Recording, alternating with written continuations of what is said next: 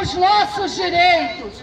Os servidores públicos municipais não podem ser tratados do jeito que eles estão sendo tratados. Nós precisamos estar aqui sendo recebidos por uma comissão. Nós temos o direito de sermos ouvidos pela administração pública. Nós estamos aqui com auxiliares de turma. Nós estamos aqui com a enfermagem.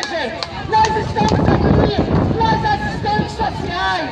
Nós estamos aqui com os animadores culturais. Nós estamos aqui com a guarda municipal. Vamos receber Então, nós não podemos sofrer o que infelizmente acabou de sendo noticiado às vésperas do Natal. Será que esse foi o presente de Natal Rafael Diniz deu para os servidores?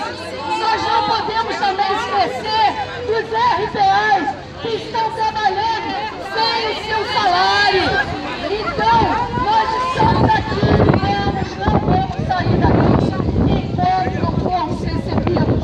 Nós temos o direito de sermos ouvidos. Por isso nós vamos permanecer